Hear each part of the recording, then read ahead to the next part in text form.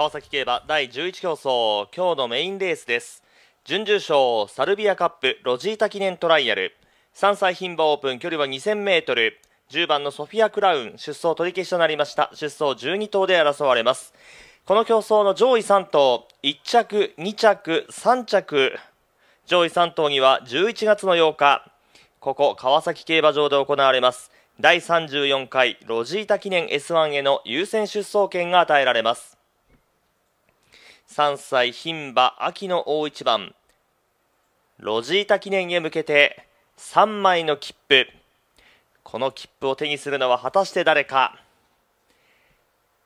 春の実力馬かそれとも夏の上がり馬か。枠入り最後13番リコシェ。馬場コンディションは不良の発表です。リコシェが収まって出走の12頭ゲートに揃います。スタートしました。遅れたのは12番のキュアドリーム。他の各馬は揃って出ました。まずは5番のマテリアルガールそして1番のメイド・イット・マム。早くも人気の2頭が先頭2番手で1周目3コーナー。外から迫って13番リコシェ。直後には2番の杉のプリンセス。それから間を通っていく7番のキャッツライズ。追い上げていくのは6番のチョアヨ。1周目の3、4コーナー中間から4コーナー。後ろに4番のフークエンジェル開いて9番のタイムトゥーキル後方の一角に8番のコスモマルーン各馬がスタンド前に出ていきました。さらに後ろに3番ドナルビー外には11番マインド・ユア・ミモザ12番のキュアドリーム最高峰展開縦長です。先団は固まっていきます。先頭は1番メイド・イット・マム。リードは首ほど。2番手5番のマテリアル・ガール。2頭に迫っていく13番リコシェ。前3頭広がってきて1コーナーをカーブして前は1、2コーナー。中間に差し掛かります。人気の2頭が少し抜けていきました。1番のメイド・イット・マム。5番のマテリアル・ガール。2頭の差は体半分から4分の3 3番手は2馬身ぐらい空きました。13番のリコシェ。向こう上面。スタート地点を通過して2周目に入ります。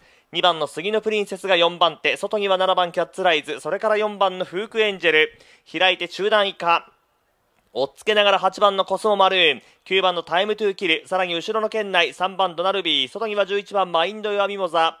12番のキュアドリームが後方2頭目1頭離れたのが6番のチョアヨ。各馬が3コーナーをカーブしていきます。ここで今度は外から5番のマテリアルガール首を覗かせて先頭。マテリアルガールが先頭食い下がる1番メイドイットマムが2番手4コーナー。離れた3番手は13番リコシェそのうちには2番の杉のプリンセス。外に行ったのはフークエンジェル。4コーナーから直線。先頭マテリアルガールここでリードを広げていく。2馬身、3馬身、4馬身、独走に入っていく。2番手は1番のメイドイットマム。伸びてくるのは杉のプリンセス。あとは外から4番フークエンジェル。杉のプリンセスが3番手。先頭マテリアルガール、ゴールイン。強い。勝ったのは5番のマテリアルガール。圧巻の走り、圧勝でした。あっという間に桜花賞馬を置き去りにして独走に入りました。4連勝充実の秋を迎えています。5番のマテリアルガールが勝ちました。1番のメイド・イット・マム最後は離されての2番手。懸命に追っていた2番の杉のプリンセスが3番手。4番フークエンジェルその後ろ。以下8番のコスモマルーンと13番リコシェ並んでの入選です。勝った5番のマテリアルガール前走に続いてこの川崎 2000m で勝利。東京2歳優春牝馬そして桜花賞を勝っています。タイトルホルダーメイドイットマムを突き放してみせました。そして2番手1番メイドイットマム3番手2番の杉のプリンセス。この3頭がロジータ記念への優先出走権を手にしました。第11競争準々賞サルビアカップが終わりました。どうぞ確定までお待ちください。